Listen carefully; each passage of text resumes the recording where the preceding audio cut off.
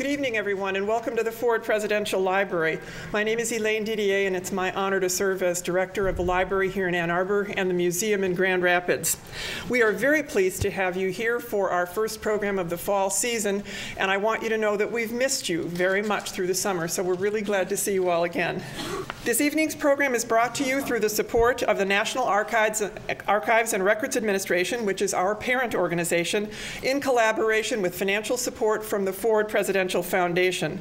We truly could not do what we do without the Foundation's support. Tonight we have the honor of hosting Max Holland, an accomplished journalist and author who will discuss the fabled secret source known only as Deep Throat in his new book, Leak Why Mark Felt Became Deep Throat. Max is a graduate of uh, Antioch College and a music major at that, and then did later journalism studies at the universities of New Mexico, Nebraska, and later Johns Hopkins. He got his start in journalism at the Lincoln Star, where he wore many hats. Currently, he is the editor of Washington Decoded, which is an independent online monthly magazine which began featuring original articles and book reviews about American history and current activities in 2007. He is also a contributing editor at The Nation magazine and the Wilson Quarterly, and sits on the editorial advisory board of the International Journal of Intelligence and Counterintelligence. His articles have appeared in both general and scholarly publications, including the Atlantic Monthly, American Heritage, the Washington Post, New York Times, many others, including the Wall Street Journal, as well as Studies in Intelligence, the Journal of Cold War Studies, and Reviews in American History. So for a non-academic person, he's has some pretty heavy-duty academic journals. Max is the author, editor, or co author of six books, including two addressing LBJ's taped recordings regarding the Kennedy assassination, and his newest book, just published, called Blind Over Cuba, regarding the Kennedy administration and how a gap in photo coverage led to the Cuban Missile Crisis. Max has a long history of doing research here at the Ford Library since he, his first visit here was in 1983, just two years after the library opened. He has been in residence here all this week doing research for his next book, which is titled A Need to Know Inside the Warren Commission. And since 2014 is the 50th anniversary of the publication of the Warren Commission report, of which President Ford was the last surviving member, you can be sure that Max will be on our radar screen for a future presentation on that topic. Max has received numerous research grants and fellowships from presidential foundations and other organizations. Most recently, he was awarded a Ford Foundation Research Travel Grant for work on this new book. He is clearly no stranger to investigative journalism and historical research and has put those skills together in this new book. One of the things that fascinates me about the new one is that it's 200 pages of text and 85 pages of footnotes. So this is scrupulously researched, and you all can follow his track and thinking if you care to do so. So we have all heard about putting Watergate behind us. Tonight we're going to have Max put Watergate in front of us. Please welcome Max Holland to the podium.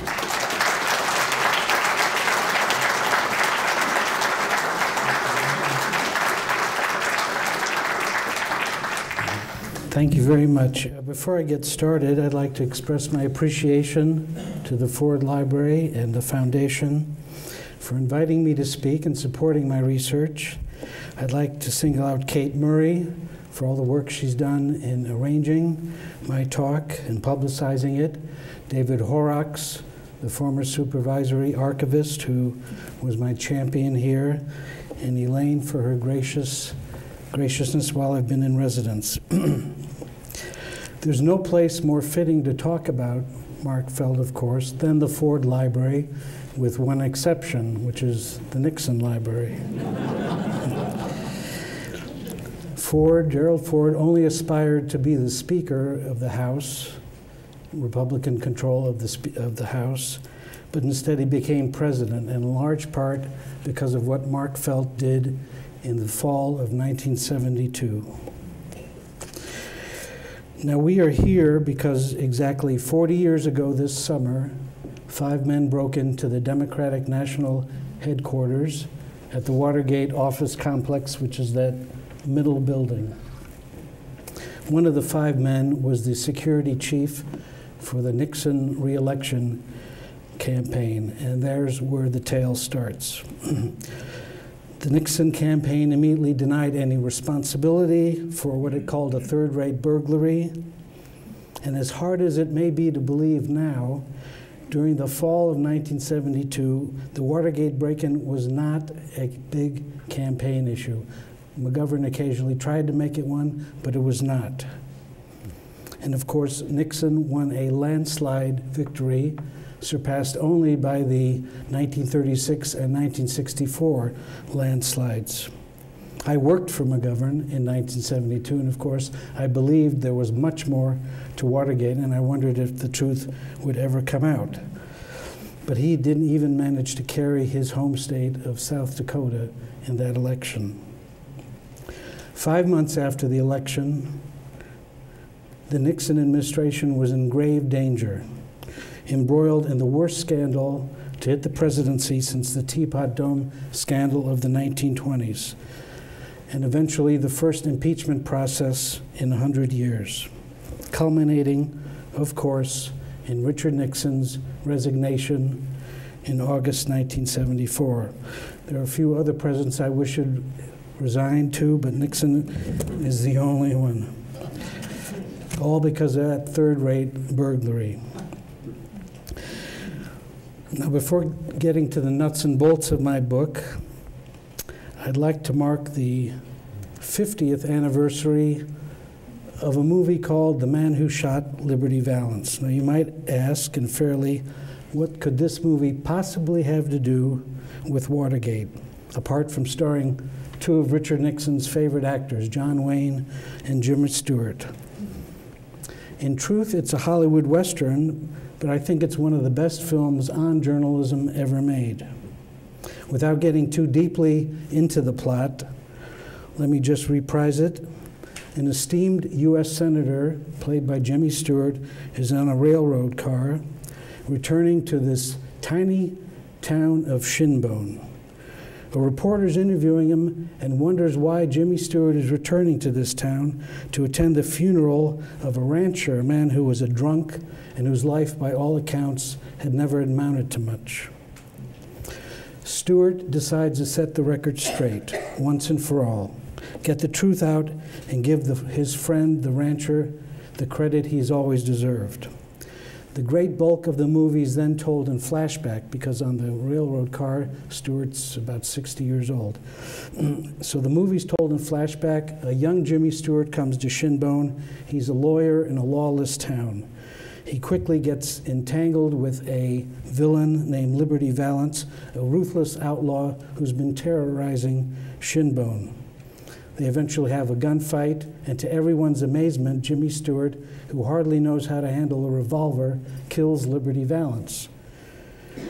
He soon learns that he didn't actually kill Liberty Valance, it was John Wayne, the character played by John Wayne. But Stewart is the one who achieves fame and renown and goes on to become elected the first senator from that territory when it becomes a state, and even the U.S. ambassador to Great Britain. Privately, he is always chagrined that his career is built on a lie and a deception, but John Wayne will not have it any other way. After Stewart finishes telling this story to the reporter on the train, the movie flashes back to the present. Stewart's relieved to finally told the truth, that he's finally told the truth. To his surprise, the reporter starts ripping up his notes. He says, when the legend becomes fact, print the legend. and that's what we're up against here, because we really have a depiction of two reporters that is akin to Hollywood Western. They're the good guys. Or as one scholar put it, it's high noon in Washington with two white hatted young reporters at one end of the street, aided by a mysterious source named Deep Throat, and the black hatted president at the other end. And the good guys win. Truth, their only weapon, saves the day. That legend was first presented in 1974 in the book All the President's Men. Subsequently, when these two reporters were played by Dustin Hoffman and Robert Redford, they became icons of the profession, every bit as enduring and powerful as the man who supposedly shot Liberty Valance. But just like director John Ford, I submit that the truth is far more interesting than the fable. As the editor of the Washingtonian magazine once, sent, once said, the forces at work behind the Watergate scandal tell you an awful lot more about how things happen in Washington. And to subscribe or to continue to subscribe to the fairy tale is to have a terribly skewed view of what actually happened, what Gerald Ford aptly called our long national nightmare. Now, my interest in Watergate began in 2007. That's two years after Mark Felt came forward, or his family brought him forward and revealed him to be the secret source named Deep Throat. in 2007, the University of Texas opened the Deep Throat portion of the Woodward and Bernstein papers, which had been sold for $5 million to the university. I've done a lot of work in archives, and I know a basic rule of thumb is whatever you think happened, the papers are going to show something different. It may be pretty insignificant, it may be powerful, but it's going to be different. So I wondered what is in the Woodward and Bernstein papers that is different than what we think happened. So I started reading up, bringing myself up to speed. I hadn't read any books about Watergate for 20 years. One of the first things I noticed is how nimble Woodward had been in describing Felt's motives. In All the President's Men in 1974, Felt was a principled whistleblower, a conscience stricken man who was trying to save the presidency itself from Richard Nixon. But in The Secret Man, which was the book Woodward wrote about Felt in 2005, Felt was more, the explanation was much more pedestrian. Felt was a bureaucrat in the FBI trying to save the Bureau from the clutches of Richard Nixon. Oh, and by the way, Felt also wanted to be the FBI director. A little later, in oral histories recorded at the Nixon Library, Woodward sort of weaved all these, all these explanations together. That he was principled, that he wanted to protect the FBI, and oh, by the way, he wanted to be FBI director. now, I've done a lot of work on the Kennedy assassination, which involves studying the FBI of the 1960s. And there's one thing that's very clear is that the insular culture of the FBI, it's very unique in Washington, and it could not be made overnight. So the idea that even Richard Nixon could somehow take over and change the FBI overnight into a tool of the White House just doesn't wash with me. The next thing that happened was when Felt died in December 2008 and the eulogies in the newspapers, they were all trying to wrap themselves in the Woodward and Bernstein mantle. And then there was Woodward's eulogy delivered in January 2009, in which he seemed to return back to his original explanation. Mark's great decision was his refusal to be silenced. He was a truth teller. Well, if there's one thing Mark Felt was not, it was a truth teller. I began my research with a simple question. According to the tapes that Richard Nixon surreptitiously made, in mid October 1972, about three weeks before the election, he learned that Mark Felt was leaking to the press. He didn't know, know his code name was Deep Throat, only people inside the Washington Post knew that, but Nixon learned that Felt was leaking to the press. And I wondered why he didn't fire the son of the gun right away, or why not right after the election when he'd won this huge mandate. So I called William Ruckelshaus. William Ruckelshaus, you might remember, was very briefly made the FBI director in 1973 in an emergency move. He was director for about two months. He's being sworn in here. A very young man, so he's still around. He's an investment banker in Seattle now. And I asked him, when Nixon asked you to be the acting FBI director, what did he tell you about Mark Felt? He, and Ruckelshaus answered, Nixon told me he's a leaker and watch out for him. And in fact, I fired him for leaking, or I forced him to resign for leaking. And that took me back because I had never heard that story that Felt was forced out. Because if you read Woodward's books, Felt left because he wanted to take advantage of a better pension. What Ruckelshaus told me next was even more surprising. He told me that in 2005, when Mark Felt came forward, that he, Ruckelshaus, called Bob Woodward to tell him the exact circumstances of Felt's very abrupt departure from the FBI in May 1973, just about a year after the break in at the Watergate. And Woodward told Ruckelshaus, This is very interesting and important information you've told me, and I'm going to make sure it will get out. Well, this was 2007, and I interviewed Ruckelshaus in about 2008 or 9 for the first time. And he had, and Woodward had nothing, done nothing to get that information out. He hadn't written an article in the Washington Post. He hadn't issued a new PS or afterward to his book on Felt. And I wondered, why is Woodward not acting like Jimmy Stewart? well, it turns out if you start pulling on that thread, Felt's abrupt departure from the FBI, the whole fairy tale starts to unravel. And this is where I get to the gist of my findings.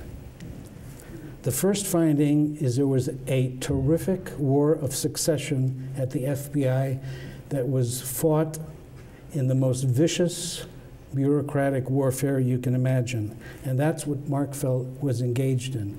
When he leaked information about the FBI's investigation of Watergate, it wasn't because the FBI's investigation wasn't going anywhere, it was to incite Richard Nixon against the acting director of the Bureau, L. Patrick Gray.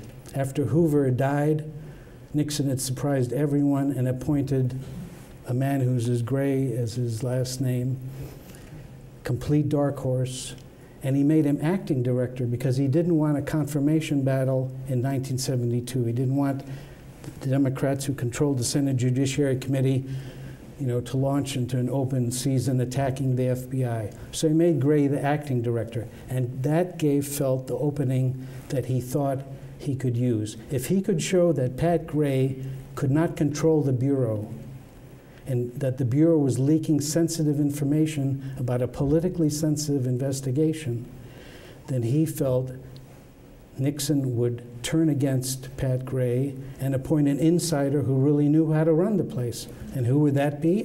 Well, of course, Mark Felt. That was the reason for his leaks to Woodward. Now, my second finding here's uh, Pat Gray, two or three day gray. That was uh, Mark Felt's derogatory nickname for Pat Gray. Because Gray, in order to win acceptance within the Bureau, spent at least two days a week visiting field offices throughout the country, trying to familiarize himself with operations in the field, with the agents who he felt he needed their support in order to win the permanent appointment as director. My second finding was that Felt didn't just leak to Bob Woodward. In fact, Time magazine ran a close second to the Washington Post in terms of the disclosures about Watergate. In fact, more of the important stories appeared in Time magazine, not the Washington Post. And that was because there was a reporter there named Sandy Smith, who had come out of Chicago, who was famous for reporting on the mob in the 40s and 50s. It was said that he knew the mob's pecking order better than the mobsters himself. Um, and he was highly trusted by the FBI, and he was known a known commodity. And therefore, when Felt leaked to him, he knew that his identity would be protected. Because you have to remember, Bob Woodward was a cub reporter, completely unproven. Felt really didn't know whether he could trust him. And as it turned out, he could not. So far from a principled whistleblower, the Hal Holbrook character played in All the President's Men, Felt was absolutely contemptuous of the media. And even Woodward hints at this in All the President's Men when he says that Felt often talked about the press's inexactitude and short attention span. And to that, I would argue the degree to which it could be manipulated. Felt saw it as a pliable tool to get him what he wanted, the top of the FBI pyramid. And he had no intention or purpose of removing Richard Nixon from office. Nixon was his ticket to the top. He was the man who was going to appoint Felt director of the FBI. He had to stay in office. George McGovern certainly wasn't going to appoint Mark Felt. Now, when I felt and I don't mean to make a pun, but when I thought I had figured this out, I was very, very proud of myself. Until I ran across this article in the New York Times, which appeared on the front page in August 1973. So this is about three months after Felt had left the FBI, and about seven months or so before All the President's Men was published. And that arrow points to this paragraph. There have been reports over the last year that at least some of the details of the involvement of officials of the White House and the Nixon reelection campaign and the Watergate cover up and related events have come from FBI employees who were disgruntled for one reason or another. In some cases, sources have said, leaks from Bureau agents were intended to prevent the nomination of Mr. Gray as the FBI's permanent director by signaling the White House that he did not have the respect of many agents and could not control them, and that if he were nominated, the Bureau would, quote, leak like a sieve. So there it is, back in 1973, what was really going on. The only thing that's wrong with this story is it wasn't FBI agents who were leaking, it was FBI executives who were leaking, or agents at the instruction of executives. Because what's also true, or what becomes apparent, is that Felt didn't do this completely alone. The Bureau was a bunch of fiefdoms and you had your loyalists, the people whose career you protected, and they did things for you in order to advance your career. And Felt had executives and agents under him who would do things like leak.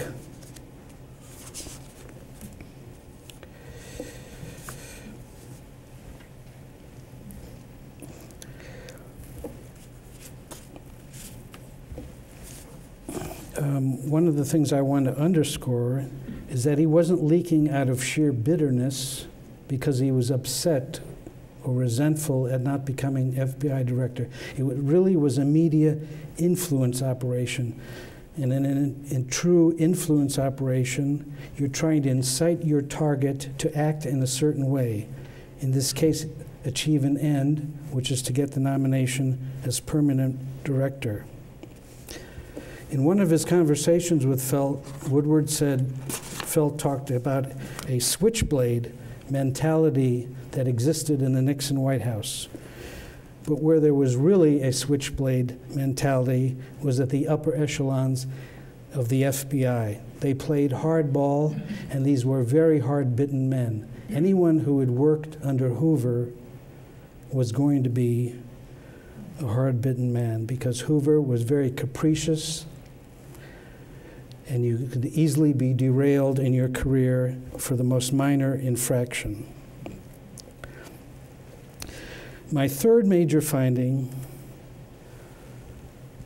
was that a lot of what Felt told Woodward was factually untrue. And the reason for that was he really didn't care about the truth. What he cared about was inciting the White House against Pat Gray. Or, if worse came to worse and Pat Gray somehow was nominated, which was a contingency he had to consider, inciting Senate Democrats to vote against Pat Gray's nomination. So about a third, a third to a half of what Felt told both Sandy Smith and Bob Woodward is just completely false. My fourth finding has to do with Woodward and Bernstein, because you can't really write a book about Mark Felt with all, also without writing about them. I think they probably believed that Felt was, you know, the man they depicted him to be in all the President's Men at the time, because probably the only actor who played Mark Felt better than Hal Holbrook was Mark Felt himself.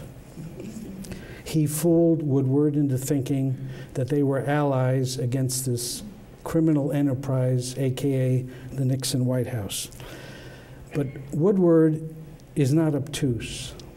And at some point, he had to realize that this could not possibly have been the case. And I think probably a time you could mark as the latest point at which he had to realize this was true was in 1992. 20 years after Watergate, the FBI opened all, all its records. And Woodward said he went there and read them. Now, if you read the FBI records, you'll find out that there is no instance of anything important related to Watergate that the FBI didn't know before the Washington Post published it. In other words, the Post didn't reveal Watergate except to the public, which is why the public thinks the Post revealed Watergate. But the FBI was days, weeks, sometimes months ahead of the Washington Post. But of course, they weren't disclosing their findings in public, they were disclosing them only to the grand jury. And in fact, they were upset when their findings appeared, sometimes almost verbatim, in the Washington Post. So when Woodward read the FBI, records, he had to realize that Felt was playing some other kind of game. At the same time, I'm a journalist myself, and I don't want to denigrate what Woodward did because when the number two man at the FBI talks, any responsible reporter listens. And if Felt was willing to talk to Woodward, it was Woodward's obligation to listen and try and corroborate and write up everything he was told. So even if he was merely reporting or reflecting what the FBI already knew, that's no small accomplishment because, of course, Watergate was a political crime and it was important in terms of the public interest to get as much information out before the election. So I, you know, would be first in line to acknowledge the accomplishments of Woodward, Bernstein, and the Washington Post in the fall of 1972. Where I differ is in their depiction in the book of how they accomplished what they did. After I finished my book, I went to the papers of Alan Pakula, who was the director of All the President's Men. And it was too late to include it in my book, but looking at those papers in which Pakula interviewed everybody who had worked at the Post because he wanted to make a movie with a great deal of realism in it, I realized really kind of what happened in All the President's Men. If you remember, in the late 60s and early 70s, there was this thing called the New Journalism. Truman Capote's book, In Cold Blood, was one of the first examples of it, in which a reporter put himself into the story. Norman Mailer's book, Armies of the Night, was another example of it. That was a book that Bernstein, in particular, admired greatly. And in fact, the voice that Woodward and Bernstein adopted in their book, writing about themselves in the third person, is exactly what Mailer did. You know, Mailer confronts the Pentagon, marches up the steps. That's the same voice that Woodward and Bernstein adopted. And the rules in the new journalism is that you put yourself in the center of the story, and it really didn't matter always what the facts were, it mattered what your perception of the facts were. So Woodward and Bernstein didn't have to go out and try and discern Felt's motive. They could just write whatever they thought the motive was. They took a lot of liberties. What I've posted up there is Woodward's typewritten notes from one of his meetings with Felt. Now, this meeting is reproduced in All the President's Men. But when you compare the notes with the text in All the President's Men, a couple things become apparent. In the text, quotes are used around colorful phrases like switchblade mentality. In the book, everything is a quote. Sentences, words are moved around to make what Felt supposedly said much more coherent.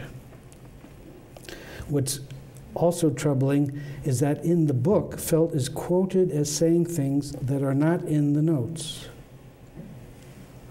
I asked Woodward about this before I published my book, and he said, Well, you must remember that when we wrote the book, it was about a year or so after my meetings with Felt, and as I reviewed my notes, a lot started coming back to me. That's why many more things are in quotes, and why some things that are not in the notes are in the text of the book. And I submit, if that's true, I've got a Brooklyn Bridge for sale. Now, why does all this matter? I was interviewed about three months ago by Robert Redford Production Company, which is doing a documentary on Watergate. And he's a very bright young man. He had a lot of good questions. And after about two and a half hours, uh, the director spoke up. And if you know how documentaries are made, it's really the director has the final say on what goes in the documentary. And after I laid this all out in copious detail for two hours, he said, why does it matter what Mark Felt, why he did it? He, you know, he just did it. Well, I submit it matters for several reasons. I may be old fashioned, but I do think facts matter. On a very elementary level, it simply fills a void that's been present ever since we learned about this fellow, Deep Throat.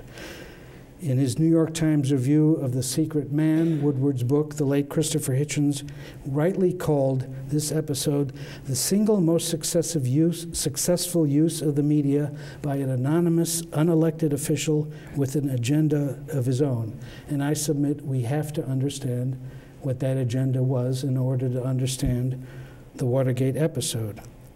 Now, this doesn't exculpate Nixon or get him off the hook or mean he shouldn't have been embroiled in an impeachment process or but we do have to understand why Felt did what he did.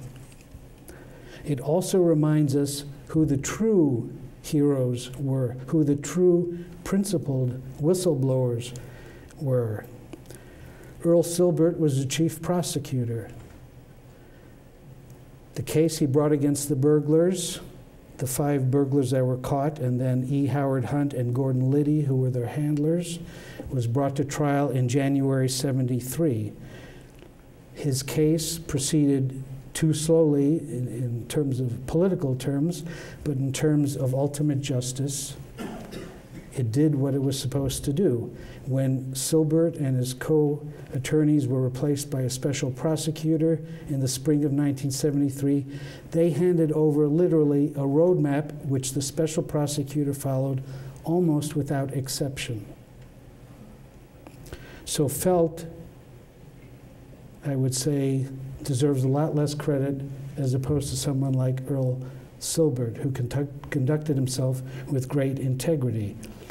Also, who were the whistleblowers? Well, Hugh Sloan, who was the treasurer at the Republican Committee to Reelect President Nixon, always told the truth, both to the grand jury and the Senate Watergate Committee.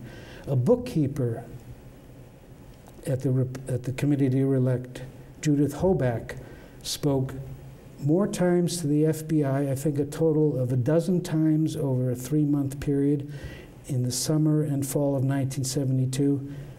And she was one of the most important witnesses because she had seen the flow of funds to Gordon Liddy. And then there's James McCord, who was one of the burglars who was apprehended. And when Earl Silbert succeeded in closing the jaws of justice, McCord was the first one who cracked and told the truth. He wrote a letter to Judge Sirica in March 73 and said perjury had been committed during the trial of the Watergate burglars. And finally, there's poor, hapless Pat Gray. Because despite the odds, Nixon did nominate Gray to be the acting, the permanent director of the FBI basically because he didn't have too many choices left by 1973. And Pat Gray had not known about the cover up. And so during his nomination hearings, he told he revealed things such as the fact that he was informing John Dean about the pace of the Watergate investigation, who the FBI was seeing, what they were asking him, that completely blew Watergate up into the major scandal that it became because the Senate suddenly wanted John Dean to testify at the confirmation hearings for Pat Gray. And that was eventually what forced Dean, who had not been really a public figure associated with Watergate, it was Gray's testimony that suddenly surfaced Dean, and within a month, Dean became a state, turned against the Nixon White House and became a state witness.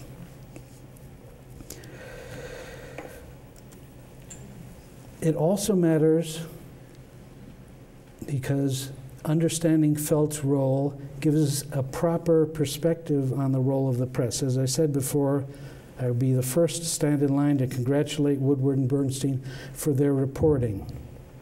Because what did it do? Their reporting and also Time and other newspapers and magazines. First of all, it kept Watergate in the news, although it was not an election issue. And after November, for about two months, it almost completely disappeared because of lack of interest. But it kept the Nixon White House making non denials and what they call non denial denials time and again. And that created an enormous credibility gap for the Nixon White House. So that by 1973, when they started, when they were forced to admit involvement, the press turned on the Nixon White House with a ferocity that we've seldom seen. And after that, the Nixon White House was laboring under terrific burden of not having come clean when they could have told the bad news, and Richard Nixon, in all likelihood, would have been reelected president anyway. By keeping the Watergate story in the news, it also influenced Judge Sirica. Now, the truth is, he was known as Maximum John before the stories in the Washington Post. And he probably would have thrown the book at the burglars anyway. But he did read those stories, and he felt the truth hadn't been told in his courtroom. So he did impose the maximum sentences on the men who were convicted for the break in, the seven men.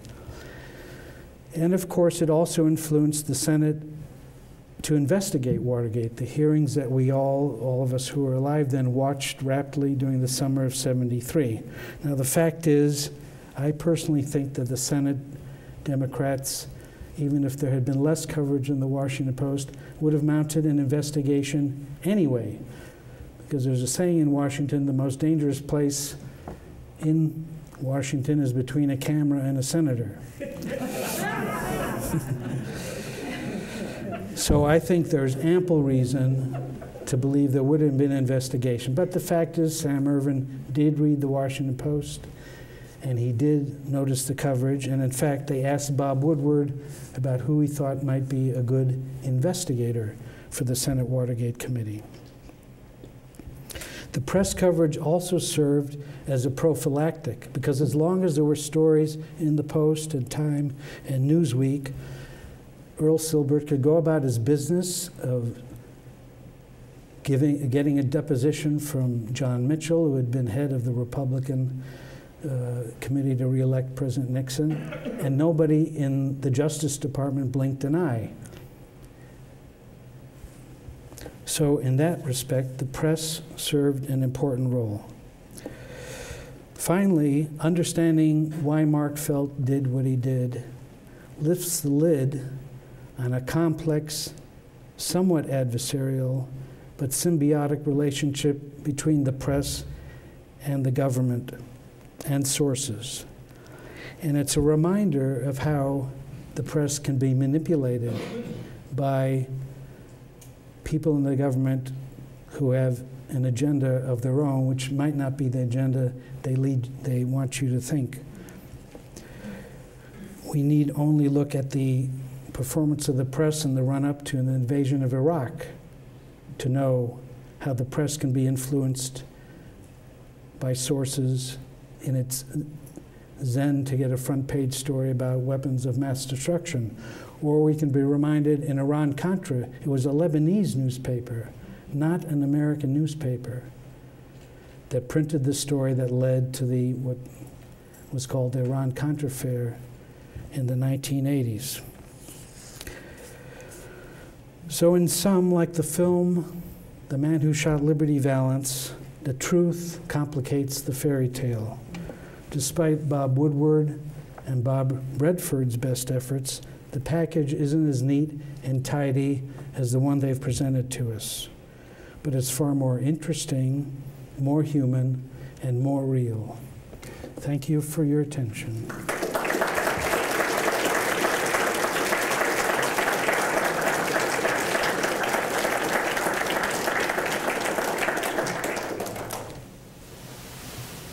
First of all, a comment to the audience. If you've not read this book, uh, echoing what was said in the introduction, do not ignore the end notes.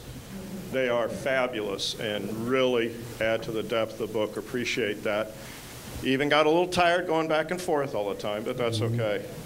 Um, I was surprised and at how naive, I would say, both Gray and Woodward seemed to be about Felt. Uh, Gray about Felt's ambition. How did he not realize that? Uh, Woodward about Felt's motives, and like you said, the assumption that everything that Felt said was true. It seemed to me Felt is just a very skilled guy, but Woodward and Gray are not supposed to be dummies. And, and, and I have a related follow up if that's permissible. Sure. So they're, not, they're naivete, and they're being naive. Well, uh, uh, there's a very interesting fellow named Donald Santarelli who was a lawyer in the Justice Department who I interviewed, and he has the distinction of warning Nixon not to put John Dean and Gordon Liddy in the positions that they held, which led to Watergate. He was a very shrewd guy, and he explained Gray to me this way. He said, Gray had been a submarine commander in World War II and even during the Korean War, and that was his formative experience. And in the submarine, your executive officer is a man you depend on to run the submarine. And you expect and receive complete loyalty because, of course, it's, it's a, just a very perilous operation virtually at all times. And Gray treated Felt as his executive officer and if you look at the memos that Felt sent to Gray, such as, boss, you'll be pleased to know that I put your picture, you know, in a conspicuous place in my office, he just completely snowed Pat Gray. He, he was sort of like an Iago type character, whispering in his ear, you know, there are a lot of reprobates here at the FBI who don't believe you ought to be director, but I'm with you and I'm against them. And to those people, he said, Pat Gray is a joke. We've got to get him out of here he was a very deceptive man. Uh, when Felt came forward, or when his family put him forward in 2005, Pat Gray was still alive. And to his credit, George Stephanopoulos interviewed Pat Gray. And, when was, and Gray was very ill. He died of, I think, stomach cancer not long afterwards. And it was um, a very emotional interview for him because he said, I had no idea what a skilled liar Mark Felt was because I confronted him to his face about whether he was leaking, and he denied it to my face, and I had no reason to disbelieve his word. With Woodward, like I say, I think at the time, to give him the benefit of the doubt, uh, Felt. You have to remember that Felt was, um, you know, part of the bureau that did these COINTEL operations and deception and getting, and you know, sowing division in the U.S. Communist Party or among the Black Panthers or the SDS.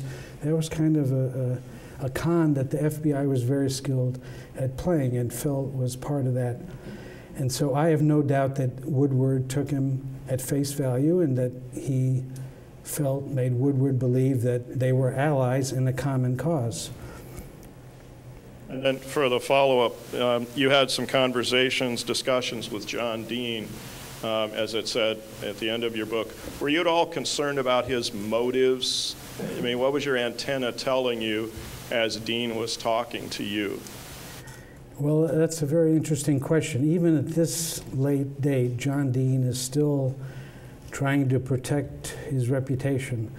Um, at one point uh, in my book, and this is not something I get into, in my book, I also talk about what Felt knew and did not tell Woodward or Sandy Smith. Because if his, if his motive really was to expose Watergate, there were things he did know about, such as the effort to embroil the CIA and block portions of the, of the FBI's investigation that he knew perfectly well about, yet he didn't tell Woodward. And I talk about that. And the person who was at the center of that was John Dean. And when he read that portion of the book, he really didn't like it because it really showed that, uh, you know, he was the desk officer for the cover up. I mean, he does accept that title, but he doesn't like it to be shown what he really did.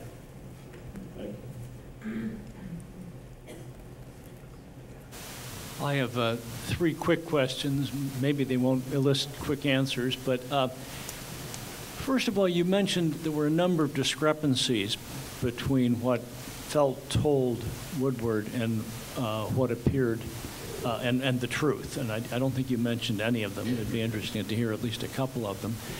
Um, secondly, when the uh, when Felt came out, there was a lot of questioning again about some of the logistics that Woodward describes in the book about meeting in the garage and the New York Times uh, outside his door uh, every morning and how this could have possibly worked. And the third question is you didn't mention Seymour Hersh of the New York Times, and I was curious if uh, how his coverage fit into your picture of this.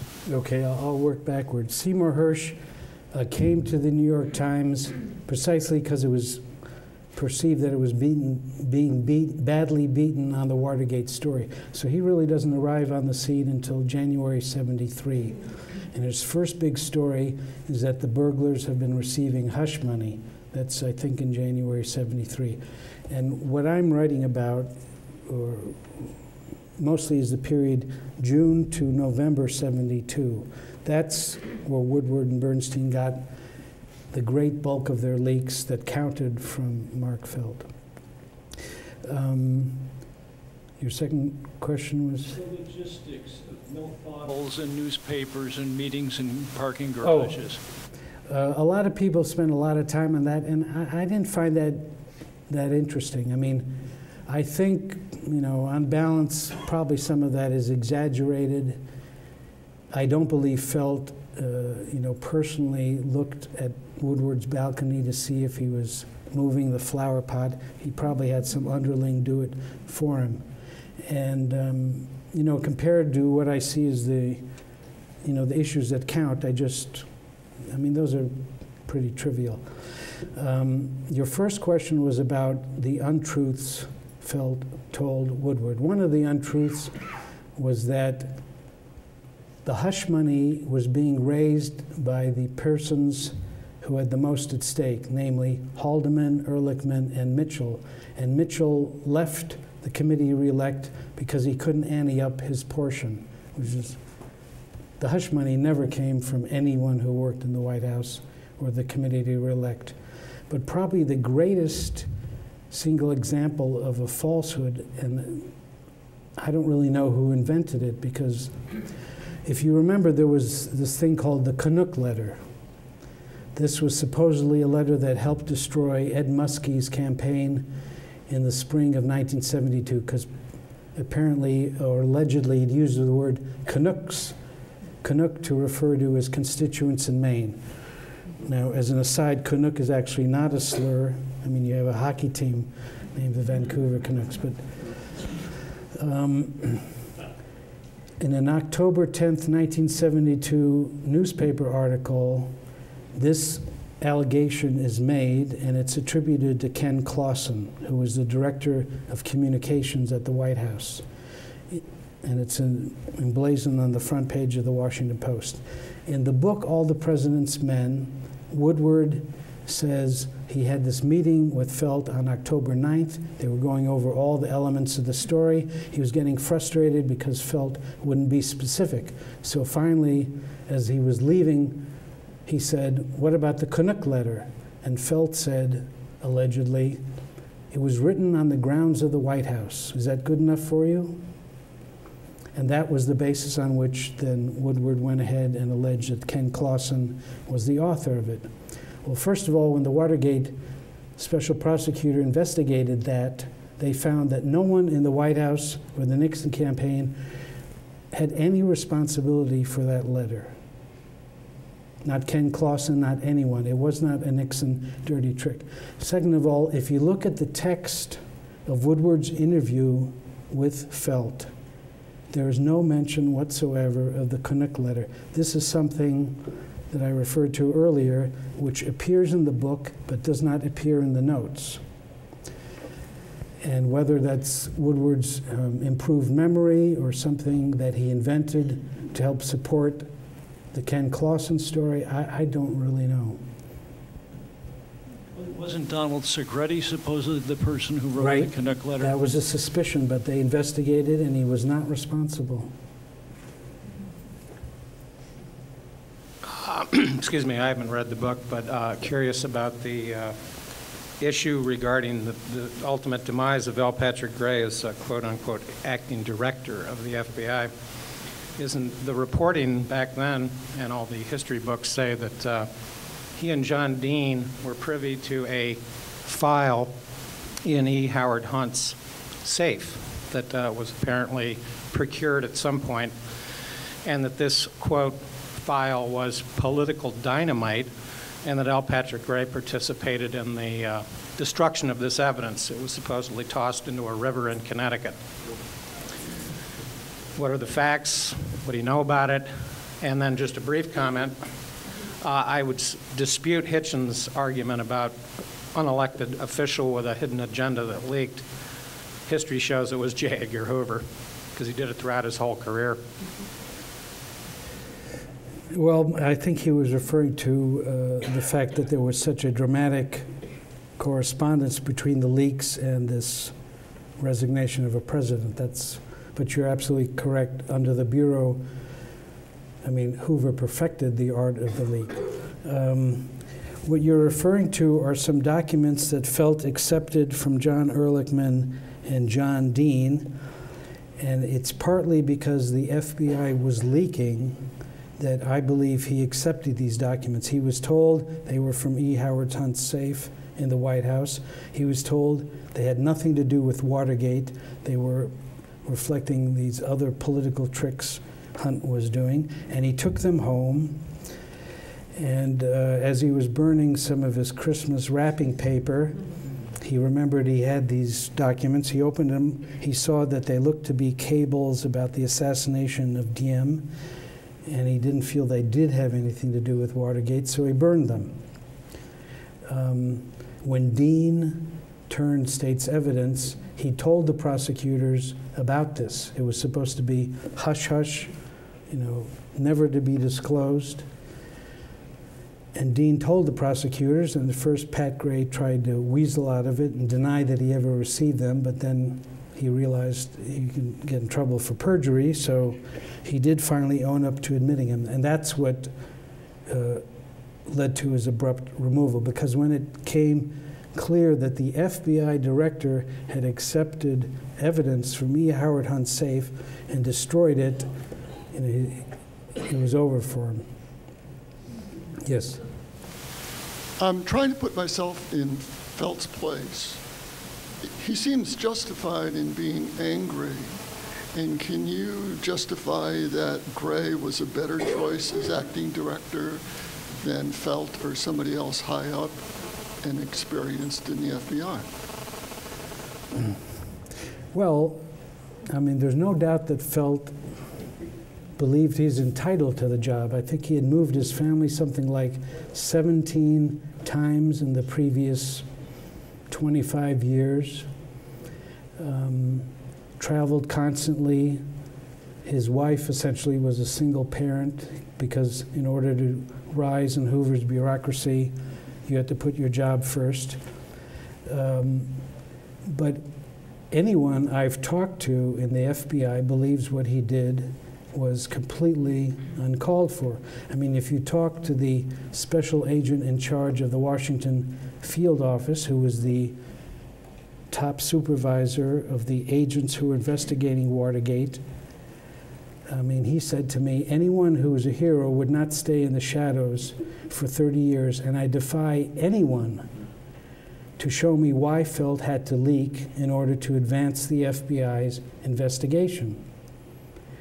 Because we were, I'm That sorry. wasn't my question. Mhm. My question was, was Pat Gray really a good choice, Oh, better than or somebody else? well, I, I think Pat Gray was certainly a more honest man than, than Mark Felt, number one. I don't know how good he would have been as FBI director. I mean, the man who succeeded Hoover was in for a world of trouble because the FBI, and to this day, I think if you uh, got Robert Mueller, you know, got him one or two drinks, he'd talk about the insularity of that culture. It's, it's, I mean, they got so used to acting with impunity and being able to get away with anything. I mean, no attorney general had ever controlled Hoover, and that bred a sense of intransigence, lack of cooperation with other government agencies, uh, willfulness, you know, not communicating what they were doing. I mean, any number of things.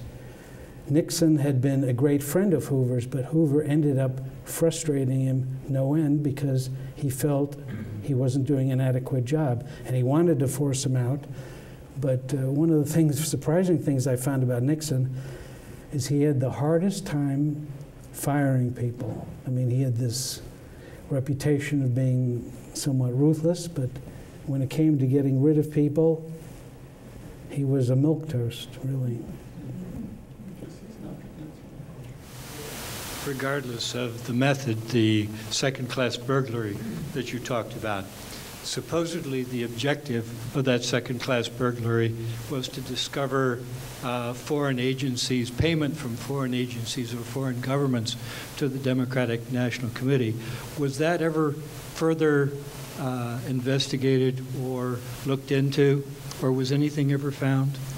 Well, that's what the Cubans were told, and that's why they cooperated. They had been told that Castro wanted the Democrats to win and that he was secretly funneling money to the Democratic National Committee.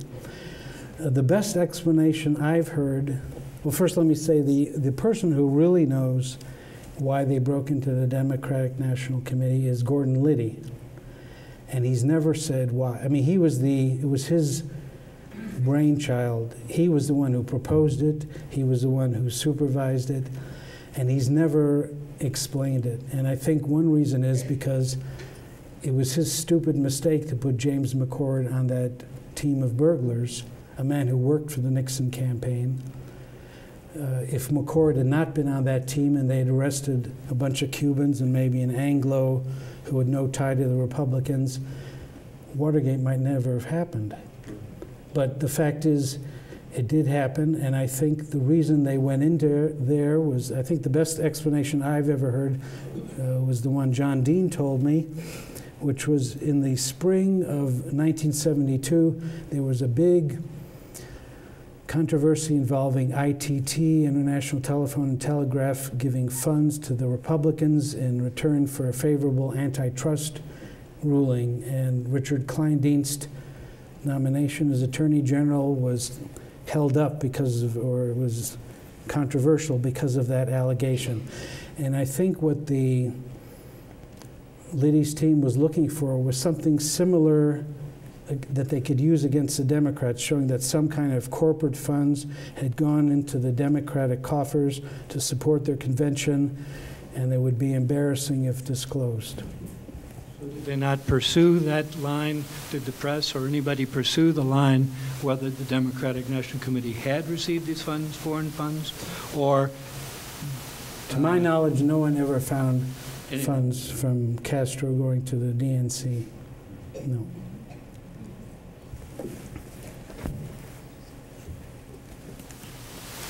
If I had read the book, I probably wouldn't be asking this question. But I'm trying to understand Felt's motives. And you have uh, said that he aspired to being head of the FBI. Um, And you also said that he told Patrick Gray that he wasn't leaking, and Patrick Gray believed him. So apparently, if Nixon knew that uh, Felt was leaking, Nixon had other sources in the FBI that were informing him. But if Nixon knew this, then how did he expect that he was going to be appointed by Nixon to head the FBI? Okay, well, that's a very good question. First of all, Felt did not know that Nixon knew he was leaking initially. Number one, he only learned that later after the election when Gray came to him and said, Look, Richard Kleindienst has told me that there's an allegation that you're the one who leaked all those stories to the Washington Post. What do you have to say about it? And Felt denied it up, down, and sideways, and Gray believed him. Now, one thing I spent a lot of time trying to discover is this chain of information that reaches Nixon about how he learned that Felt was leaking. In the conversation, Haldeman tells him, We found the leak and it's very high up. It's the man next to Pat Gray, Mark Felt. And Nixon expresses amazement.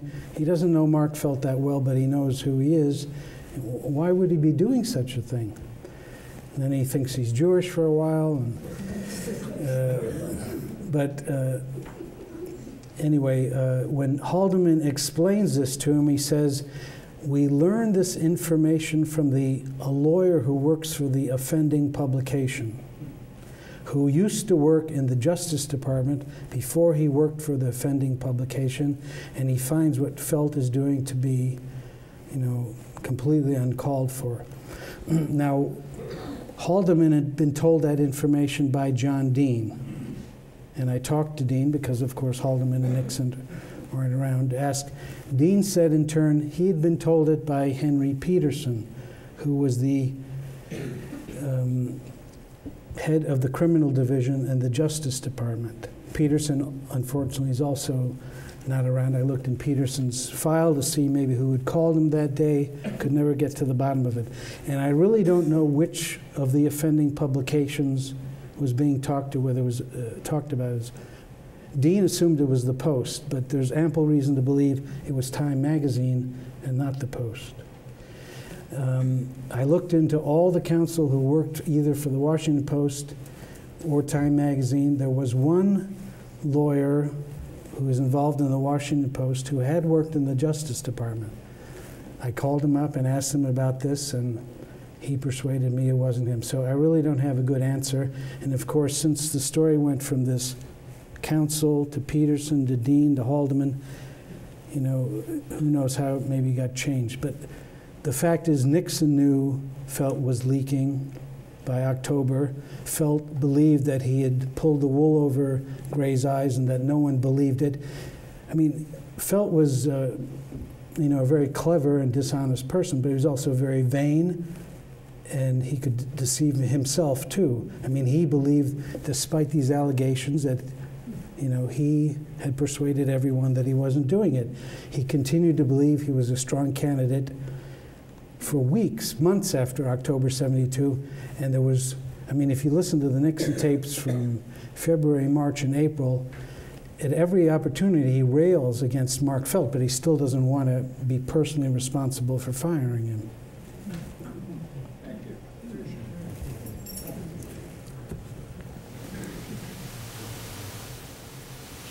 Hi, this might be a silly question, but um, Mark Felt was known as Deep Throat, and if he was known to Nixon, he was known to others, and he was, and I don't know, as a little middle schooler, and all the president's men, he kind of captured our imagination as being this mysterious ghost in the garage, but apparently others knew about him.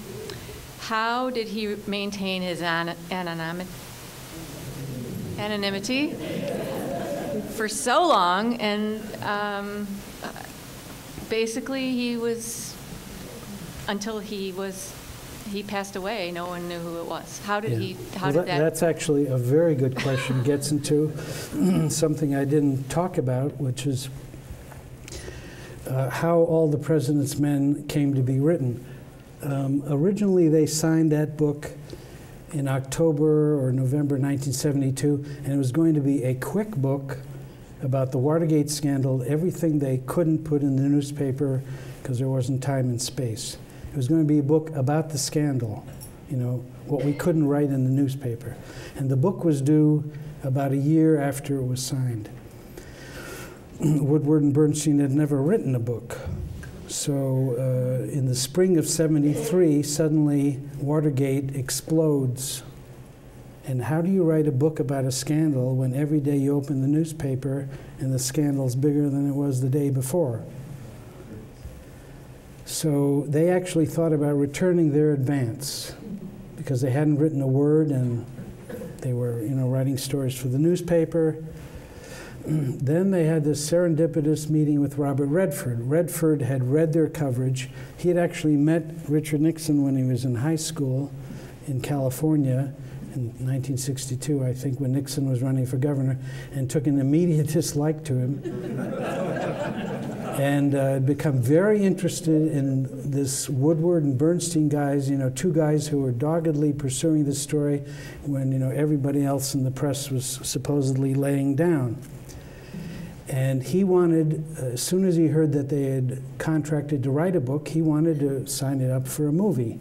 But what interested him was not the scandal, but the reporters, the Mutt and Jeff, you know, Jewish leftist from Maryland and Midwestern Wheaton, Illinois, son of a judge who went to Yale and served in the Navy.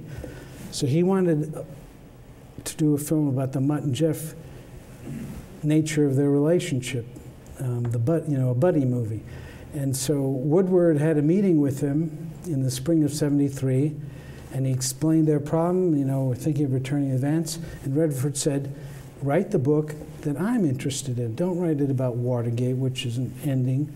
Write it about your coverage in 1972. Write it about yourself." So the whole axis of the book changed. And so, well, how do you write that book? Well, if you're going to write about how you got that story, you have to write about your sources. So Woodward and Bernstein went back to their sources, like Hugh Sloan and Judith Hoback, and asked for permission to reveal their identity. Hugh Sloan didn't care at all because he'd always told the truth, and I guess he thought it was a chance to rehabilitate his reputation. Judith Hoback said, "Don't use my name, but you can, you know, call me the bookkeeper." When they asked Mark Felt, or Woodward said they asked Mark Felt, he said, hell no. Because the deal with Woodward had been you are not to quote anything I say, you are not to acknowledge my existence to anybody. Everything I tell you is for a quote, deep background. You're not to uh, link me to any particular story. Now, Woodward had violated those rules a little, but uh, you know, not too badly for a reporter. but when he had this problem with Felt, you know, what's he going to do? I mean, Felt was not their only source, but he was first among equals. He was Deep Throat. He was their most important source. So he thought about it for a while, and they actually floated some trial balloons. There's one article in the Washington Post in June of 1973 about the traumatic year at the FBI and how the place, the reputation of the place has plummeted in the year of Watergate. And according to a Watergate repertorial specialist, there's one guy at the FBI without whom we couldn't have written a word. Well, that was either Woodward or Bernstein telling this Post reporter about their big source at the FBI. I saw it as a, when I read that as a, as a way, well, maybe tr- trying to signal felt it wouldn't be that bad for you to be exposed as a source. But at the end of the day, they decided to write their book, and they violated virtually every stipulation. They tied Felt to specific sources. They quoted extensively what he had told Woodward. They acknowledged his ex- existence. The only things they didn't reveal were where he worked in the executive branch. They just said he worked in the executive branch. And of course, they didn't reveal his name. Felt immediately became the chief suspect for Deep Throat. There was a fabled Washington editor named Frank Waldrop who had written for the Washington Times Herald since the 1920s. He had witnessed the growth of the FBI from this teeny office in the Justice Department to the powerhouse that Hoover had built. He immediately said Deep Throat is Mark Felt. And if you look at the initial coverage and speculation, Mark Felt is the number one suspect. So he said, It is not I, it was not I. He lied. And meanwhile, this fable grew up about Woodward's fidelity to his sources, which I find one of the oddest things about the whole thing. I mean, he betrayed Felt. He violated their agreement when it suited his purposes. And Felt actually, this is in my book, was investigated internally by the FBI for leaking after he'd left. And he was extremely angry about it. Uh, and he denied it and of course lied about it et cetera et cetera. But he in the end the fbi couldn't prove anything about it. So you know as time goes on you have felt's denial and so other people well who was this person in the executive branch? And the speculation gets more baroque you know alexander haig john dean earl silbert uh, just all sorts of you know fred fielding just all uh, all sorts of wilds. Pat Gray was fingered by CBS, I think, at one point as Deep Throat. Um, so it just gets wilder and wilder, you know. Um, and Woodward, you know, is the keeper of the secret.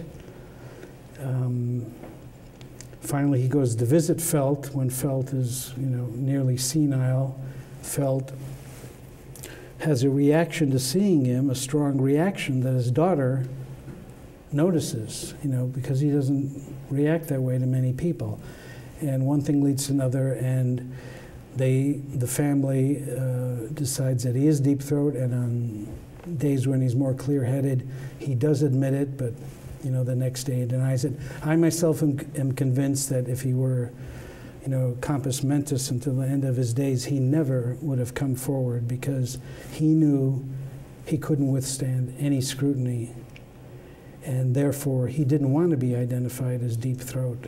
If he'd done something truly heroic, he might have been modest and a bashful hero, but he eventually would have come forward. But he knew that anybody who knew anything about what had actually gone on in the FBI would find him, you know, a reprobate for what he did, and he would be excommunicated from the only community he had, which was former FBI agents.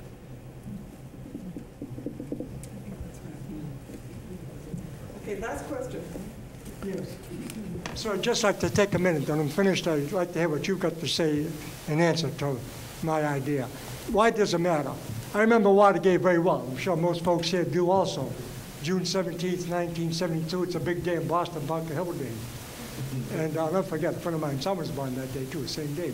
But how about politics? Uh, when we found out that it was the CREEP, the Committee to Re-elect the President. Mitchell was in charge of that. And uh, Mr. Nixon met with them once a week. He was so paranoid about losing the election because, you know, remember what happened then with Kennedy in 1960? And this is 72, he's up for re-election. So naturally he was in touch with them. He knew what they were doing. And any American with half a brain would would expect that Nixon was in on it, and then the natural thing would be try to cover up to protect the boys he sent out. It's natural uh, for any president. Uh, We hold the president responsible. That's why Papa Bush wasn't reelected, Carter wasn't reelected, Herbert Hoover was reelected right along. The captain is responsible for the ship. Everybody knows that. And still, Richard Nixon was overwhelmingly reelected that year, almost like a landslide. LBJ, or, you know, uh, FDR in 36 images, unbelievable. American people knew they weren't about Watergate. Nobody had his head cracked in the hospital. Nobody was shot. One politician after another. Nobody gave a hoot.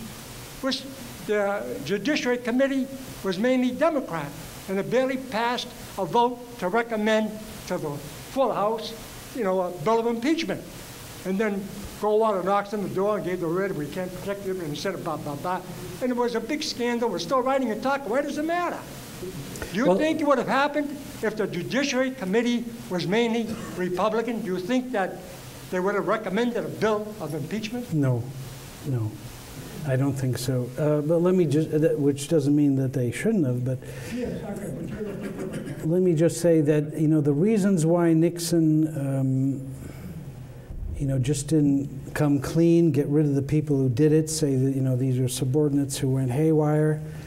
You know, it's a very complicated issue, and John Dean was the one who sort of schooled me in it. You know, the fact was that Liddy and Hunt, if they had just been responsible for the break-in, he probably would have, you know, owned up to these subordinates who did these things and gotten rid of them, and that would have been the end of it. But the fact is, they had been involved in a break-in at the office of the psychiatrist of Daniel Ellsberg, which was clearly illegal.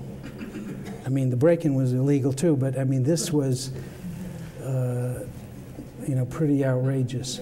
And it was that knowledge that Nixon was worried, it was that information that Nixon was worried about coming out. Now, that break in had been supervised by John Ehrlichman. And Mitchell had been the, uh, essentially the higher up in the break in at the DNC. Mitchell and Ehrlichman didn't get along. Mitchell didn't want to take a fall for something he felt Ehrlichman you know, had been chiefly responsible for. And of course, Ehrlichman felt that Mitchell ought to just come clean and that'll be the end of it. So it had a lot to do with, you know, the internal divisions within the White House. And Nixon, as I alluded to earlier, was very loyal to the people who worked with him. John Mitchell was an old friend. He'd been his campaign manager in 1968. He didn't feel he would have been president without Mitchell.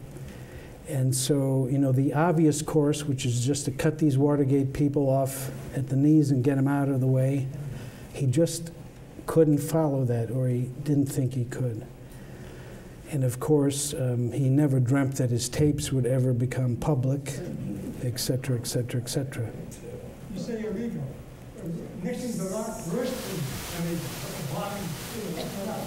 Vietnam and so forth, about commercial approval. I mean, go on and on, look at what Beyond did the war with. Greatest president probably, Lincoln did with the Civil War. So being illegal, American people was illegal, they always denied it, but the American people so all war with Lincoln, but uh, elected, uh, re-elected Richard Nixon. How do you play along? Look at How do they reelect George Bush?